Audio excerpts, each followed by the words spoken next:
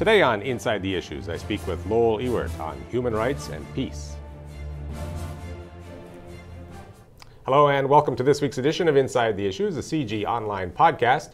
I'm David Welch, CIGI Chair of uh, Global Security at the Balsillie School of International Affairs and Professor of Political Science at the University of Waterloo. And each week I'm very glad to welcome a guest here into the studios at the Center for International Governance Innovation in Waterloo, Ontario, to talk about some important aspect or topic of global governance. And this week I'm very happy to welcome Lowell Ewert, who's the director of the Peace and Conflict Studies program. It's good to be here, David. Conrad Grebel University College here in Waterloo. And uh, Lowell, you're an expert in peace, conflict, conflict resolution, international law, human rights, a whole range of things. And we uh, would like to focus today on the connection between human rights Okay. and peace. So if it's all right, we will start off generally speaking about the conceptual relationship between human Mm-hmm. Yeah. rights and peace. How do you understand that uh, relationship and uh, how, how is your understanding different perhaps from that of the person on the street? I think the relationship between law and peace is one that we don't often think about. It's a little bit like the air in a room until the air is gone or polluted, we don't realize that we're missing it. The way I would describe the relationship between law and peace and human rights and peace would be like the, the structure of a building where you have the walls, the floor, the roof, the ceiling, the windows, the doors.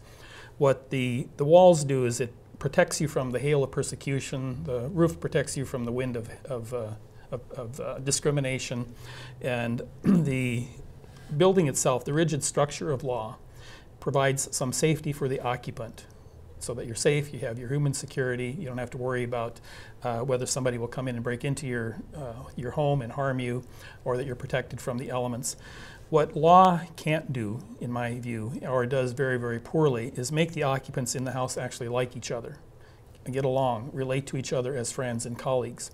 What law can do is it can set the minimum standards, the, minimum floor, if you will, that says that this, these are the rules by which we will relate to each other and treat each other. But in terms of the, the human attributes of love, reconciliation, respect, and those kinds of things, law struggles with doing that. And that's where I think the relationship between law and peace is that these two concepts desperately need each other in order to create the kind of humane and just world that we want. For example, if in Canada in winter, you and I like each other a lot, we're great friends, and we have a great relationship, but we're outside in the middle of a snowstorm. We're going to be cold, we're going to get sick, uh, we're going to want to go somewhere else very, very quickly, and our relationship will, will suffer as a result. Um, what we need is to bring these two elements together the law, the structure, uh, and peace the human attributes together to make life have that kind of human meaning and human dignity that really gives life the, the, the, the deep sense of meaning that uh, we as humans crave. So Now, when, that's how when you and I talk about human rights and law, probably we're inclined to say that neither is a necessary and sufficient condition for the other. Or there That's might be necessary conditions for each other, but they're not sufficient. So you, you could say that a lot of, a lot of human rights in the world at, at an abstract conceptual level, but in various places laws don't go, do a good job That's right. of acknowledging them That's or right. Mm-hmm. protecting them. And vice versa. You might have all kinds of laws that in fact violate people's That's right. human rights. So when you talk about this connection, you're, you're talking specifically about a legal apparatus that would respect and That's right. protect a set of human rights. That's right. It's rigid, it changes slowly, it is enforceable in, e- unequally, in, uh, not always at the same rate and so forth, but it's the rigid structure that determines how society is ordered or wired. Right. Now, as you know, some people interpret human rights in a very global, cosmopolitan way. There's one set of human rights that all human beings enjoy Mm-hmm. uh, in virtue of being human beings, and others tend to contextualize them culturally and say that human rights are something that really can only make sense or be understood in the context of local norms and customs Right. and histories and traditions. Where do you fall on that spectrum, and is there room for negotiation between those two views, or are they just two separate Yeah. ways of understanding the same concept? I think there's a lot of room for contextualization and understanding. I think if you take all of the human rights instruments together, you put them in a blender, you grind them up, distill them down, and then you boil out the core essence. What you're left out with is about four principles. One would be the principle that everyone has a right to participate in the organized political life in which they are at.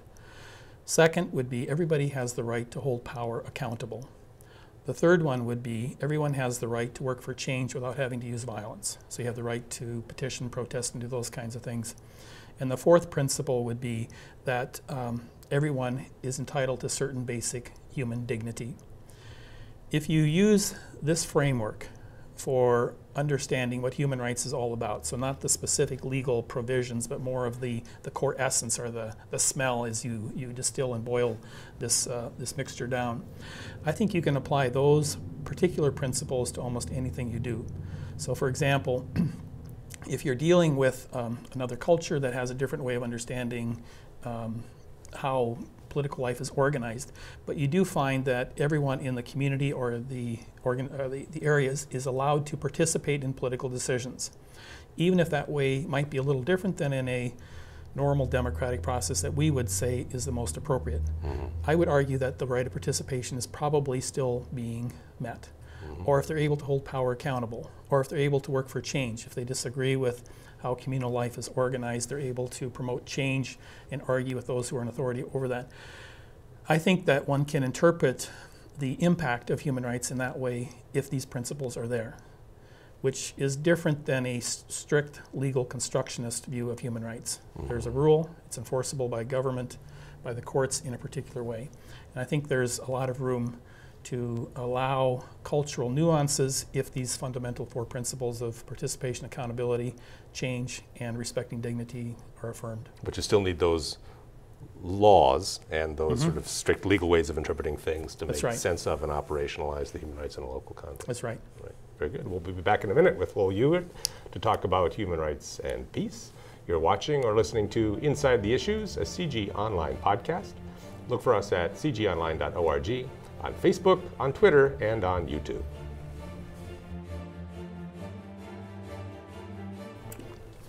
Welcome back. So let's talk a bit about peace. That's one of those words we use every day, and we right. think we know what it means. Uh, it turns out there's actually quite a lot of different ways of understanding peace. Right. It's sort of a negative one, right? Mm-hmm. Peace is the absence of war. Right. And there's a very positive one, which has all kinds of content built into it. Mm-hmm. You don't enjoy peace unless you enjoy A, B, C, D, E. Right. Uh, what's your preferred understanding of peace? And is there a particularly good way of thinking about peace when you're talking specifically about the relationship between peace on the one hand and law and human rights on the other? Well, I, th- I, have a broad view of the definition of peace. Peace isn't just the absence of war, but it's more the presence of those c- conditions that lead to a life that is life affirming, a uh, context where it's life affirming. One man, one vote is meaningless in the absence of one man, one bread, or one woman, one bread. So you need these kinds of things to have the kind of life that uh, has value and meaning. I think often when we look at the, the, legal definition of rights in terms of you have the right to um, you know, vote and petition and so forth, we miss sight of the fact that uh, without these other uh, elements of that nurture life and make life sustainable, um, life is tough. And I think a, a, broad definition of peace is, is more important here. Mm-hmm. Now, at a global level, we used to talk a lot about human rights, right. especially during the Cold War, and to some extent that was instrumental. Right? Mm-hmm. Human rights was a club with which we could beat the Soviet Union and its right. allies. We don't talk as much uh, from a global governance perspective about human rights as we used mm-hmm. to. We talk more about human security. Yeah. Uh, what's your understanding of the relationship between human security and human rights? Or is it just a neologism for what we used to mean by human rights, mm-hmm. or is it something different? Well, I think in the, the Cold War debates that were going on about human rights, the, the West tended to talk about civil and political rights the Soviet states tended to talk more about economic, social, and cultural rights.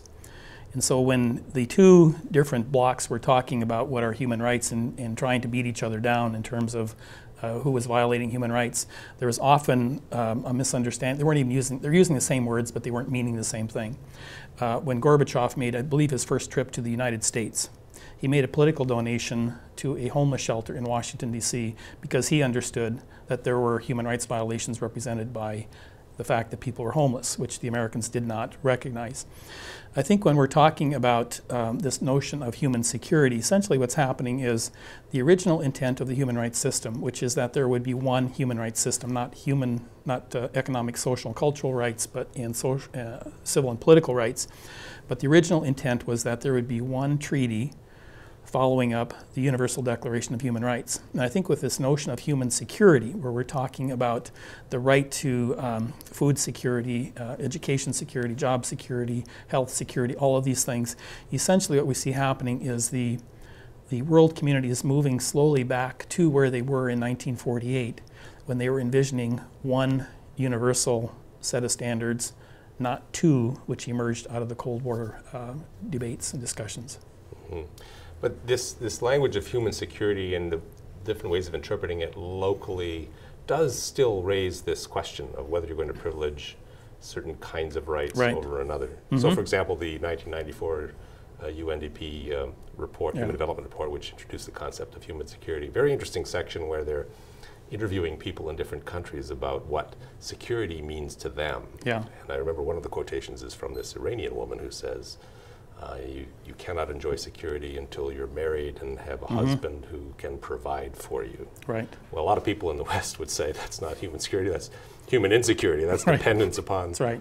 another mm. person. So have we just sort of imported all these old debates about civil and political rights versus economic social rights or you know Western liberal understandings of rights and versus you know Asian or mm-hmm. Middle Eastern understandings of rights and brought them back under the human security tent or have we actually made progress toward a universal understanding? I think we're making progress towards a universal understanding because as all of these different elements are coming to the table and being part of the debate, it's challenging all of us to look at this differently. Again, if you look at the, the different um, uh, sectors or the different um, blocs, political blocs, some are focusing more on one, some are focusing on another. And I think what we're doing by bringing this together as one concept, one notion, is actually helpful because it's seeing these rights as unified, not as separate and discrete. Mm-hmm. And how does the law figure into the discourse on human security? That's not obvious from the, the materials that are available generally on the topic of human security. It mm-hmm. tends to be very policy oriented. Right. It doesn't tend to be a legal discourse. Is that a mistake in your view? Is it a gap? Should we be approaching human security problems from a more self consciously legal perspective? I appreciate what some of the early human rights documents have done and think that it was a good approach. If you look at the Universal Declaration of Human Rights, for example, 30 articles, very short. Um, I think 29 of them start with you know the same kinds of words, but it's very, very short, very, very uh, vague in general. The vagueness and the generality of that has allowed us over time to breathe new life into it. And I think as we look at these legal documents, the more rigid and legal these inspirational human rights documents are, the more they tie our hands and limit the development and evolution of notions of human security and human rights and human dignity rather than uh, protect it. Sort of an odd way. Normally, in our Western society, we would think of rights and law as being that which uh, advances and, and uh, establishes those, those rights we need. I think when we look at international law, especially human rights law, it is the inspirational vagueness of it that has been its most dynamic impact. If these early treaties had been more specific, like we would expect from our pro- uh, province or, or the feds, um, I think we would have seen a far less impact in terms of the evolution of human rights over time. Just as one example, if you look at the early human rights documents, there's not one word in them about corporations. Mm. Today, virtually every major corporation understands that they have some human rights obligations, although they argue about to what extent. But yet the law hasn't changed. The rules or the, the human rights laws haven't changed. What's happened is that the interpretation of them has evolved and changed over time. And I think that's the, the interesting dynamic about the, the vagaries or the, the unspecificity of human rights law that has really generated its most uh, exciting and compelling impact. Mhm. And do you think corporations are actually getting with the program, or are they talking this language because they realize they need to now in order to sell their products? I think it's a little bit of both. Um, I think corporations have gotten the message that the public demands it. Virtually every consumer, every constituent of a, a multinational corporation understands that they want to be associated and they want to buy products from a company that has a reputation, at least sounds good. So I think uh, corporations are getting with the program. Uh, I think uh, one of the biggest issues is um, because the paradigm is changing so rapidly. And this, this change of corporations and human rights has been dramatic in the last 10 or 15 years. Uh, virtually 15 years ago, there would be, have been no books that had, would have linked human rights and business together in the same sentence. So we're talking about a radical shift of political economy over a relatively short period of time historically. And I think the the business and corporate community is catching up with that. It probably still isn't uh, deep into the corporate culture, but I think it's coming. Mm-hmm. Uh, these initiatives that are out there in terms of business and human rights are forcing them to improve their performance and do better. Very good. We'll be back again in a minute with Lowell Ewart. You're watching or listening to Inside the Issues, a CIGI Online podcast. Look for us at cigionline.org, on Facebook, on Twitter, and on YouTube.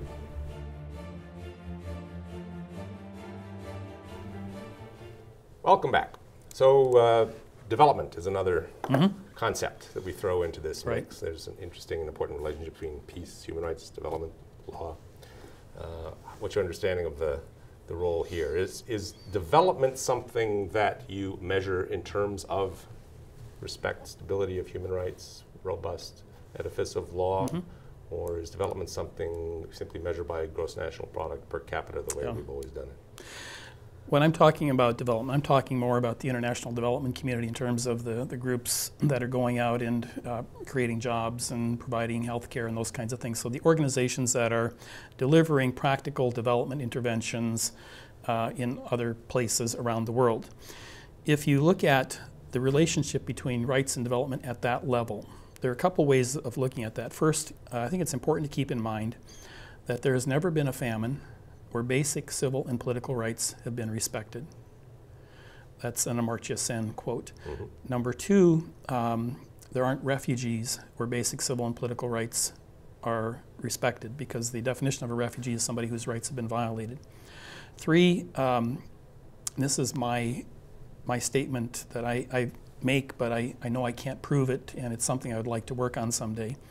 Earthquakes cause more damage where basic civil and political rights are violated uh, for uh, environmental degradation is more difficult to combat where uh, civil and political rights are violated.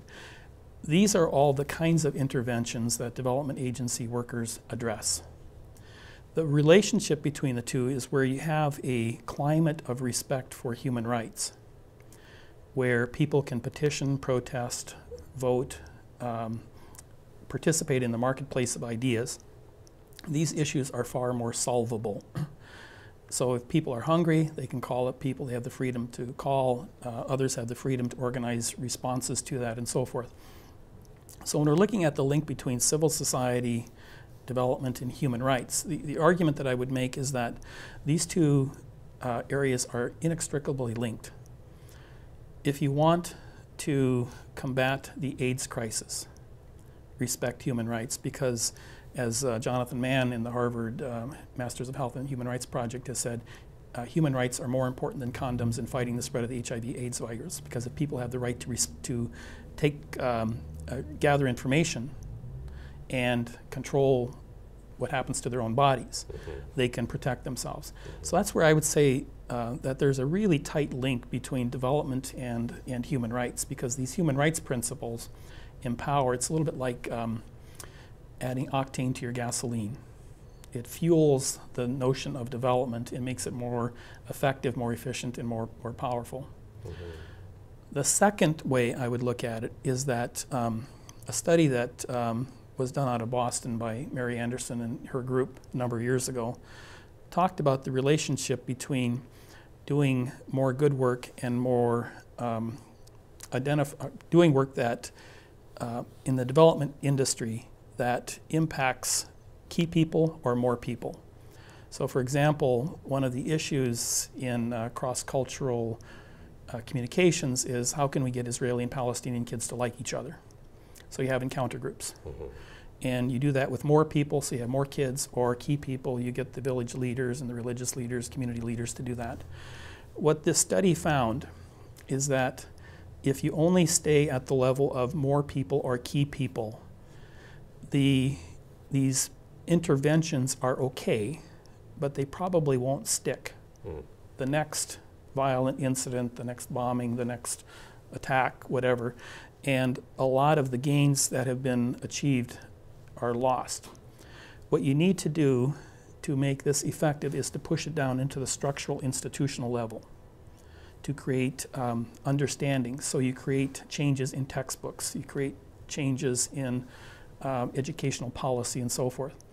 And so when you look at the relationship, in my view, between development, these laudable goals of, of building communities where there has been division and war and conflict, and the structure of, of these, these laws and human rights treaties, you have to push it down into the structural level for it to stick.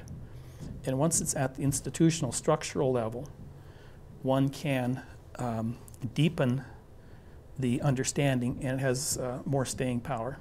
Is there a, a, chicken and egg problem here, though? Some of these problematic societies are, are failed or torn states. Sure. And yeah. really, you need a strong state in order to mm-hmm. build effective institutions and you know promote uniform use of textbooks and so on. I'd like to just give one example of a project that I was involved in in, in Egypt. It was working with um, working children who were um, who, because they were poor, they came from poor families, they had to work. Mm. The problem with working children is that if you're working, you're not going to school, and then the vicious circle of poverty continues. Right. The organization that I was advising um, decided that rather than approach this as a development only function, approach this more as a institution development, uh, from institutional development angle. So what they did is they talked to kids who were working, they talked to their parents, they talked to employers who were hiring these kids. And they basically asked the kids, what conditions make your life more difficult? What conditions at work allow you to go to school part time and to develop as a human being? Out of that conversation, they developed a standard of about 10 different, very simplistic um, statements, a code of conduct. That code of conduct then was shared with employers who had some comments and with the parents who had to affirm it as well. What happened when you took these development interventions, which was the principle was to help kids, but the structuralization or institutionalization was putting this into a code of conduct. Essentially institutionalized it, that then other microenterprise lenders, other people doing small business development said, hey, that's a good uh, code of conduct. And they were institutionalizing it, became more uh, part of society. Mm-hmm. So that's an example of where it wasn't government that changed, but it was the the industry itself that was affirming these new standards, and slowly over time, more, not all, but more agencies were starting to adopt these same things uh, on their own. So it's an example of where essentially democracy was built from the ground up, even though the, the formal structure of government wasn't ready to enforce these. Fascinating example. We'll be back in a minute with Lowell Ewert. You're watching or listening to Inside the Issues, a CIGI Online podcast. Look for us at cigionline.org on Facebook, on Twitter, and on YouTube.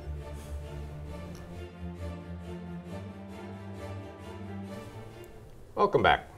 So you've been using the term civil society a lot, and uh, I get the impression from what you're saying that the progress, the action, the motor behind a lot of this is is coming from civil society, not right. so much necessarily from states or international organizations. Uh, you teach a peace and conflict That's studies right. program. In fact, the Conrad Grebel, I believe, has one of the older peace and conflict studies programs in uh, Canada. That's right. You're just about to launch a master's in peace mm-hmm. and conflict studies. So, from a, a, teacher's perspective, how do you design a curriculum and, and, teach students to understand these issues better and actually to make a practical mm-hmm. contribution in the world? Your programs tend to be very practice oriented, right, don't right. they? Uh, we view organized political life like a stool with three legs. So there's the government, there's the business sector, and there's this civil society sector. Our view is that for a healthy, just, and sustainable world, all three of these three sectors, these three legs of the stool, need to be working with each other uh, in a balanced relationship. So one needs to have all three legs roughly equally balanced, equally stable, equally strong, and so forth. Um, if you look at nations that have a failed government, where you're balancing on the business and civil society, you have a two legged stool that's unstable. Or a government I would argue, a little bit like the United States, where it tends to be more business dominated. You have a very strong business economic uh, leg, but not the state or civil society. So you have an unstable uh, situation.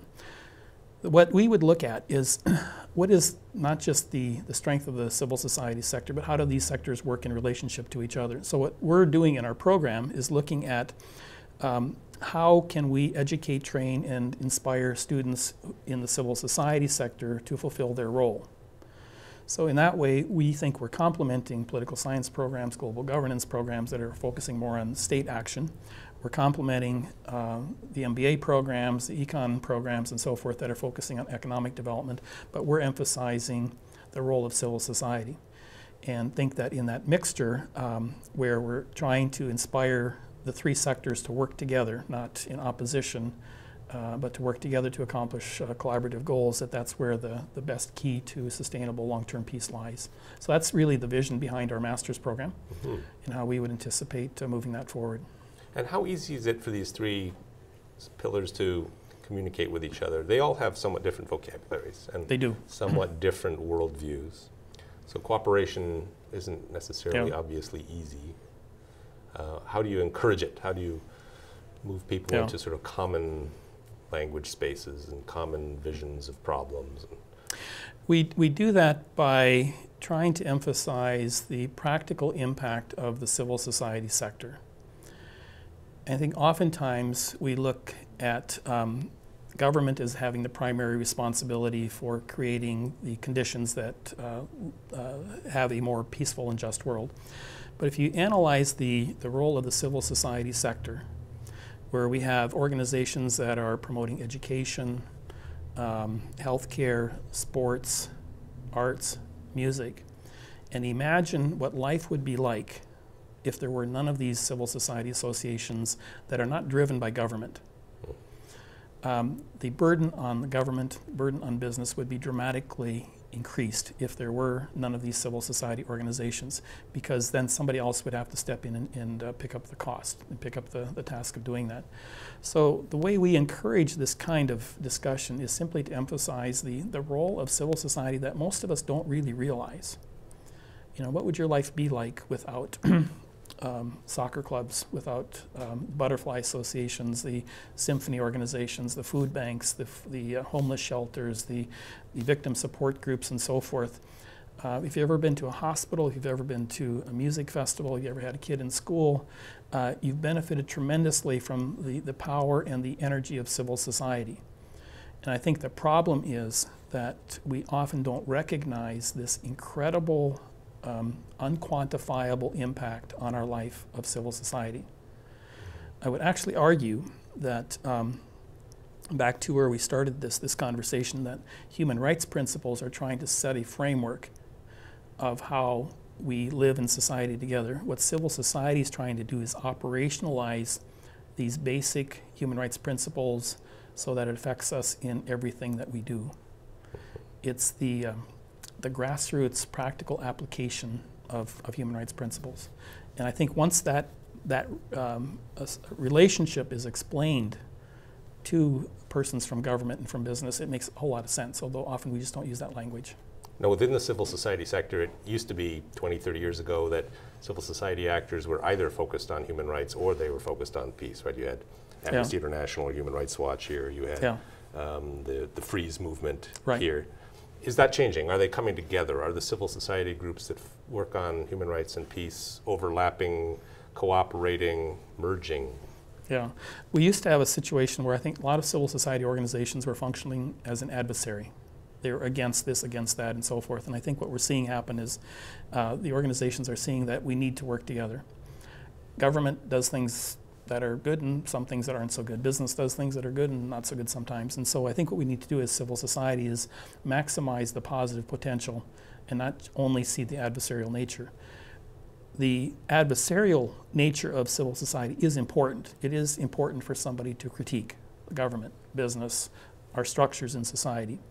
Um, that is the power of civil society in doing that. But um, we don't need to only invest and inhabit that space of the critique. We can also look at the partnerships, look for ways to collaborate and um, uh, share new visions for, with government.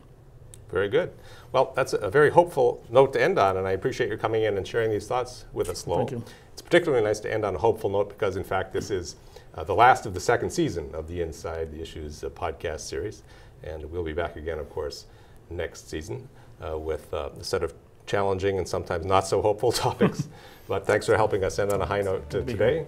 And to our audience, thank you again for joining us, and please do join us again in the future uh, for future episodes of Inside the Issues, a CIGI Online podcast. Look for us at cigionline.org, on Facebook, on Twitter, and on YouTube.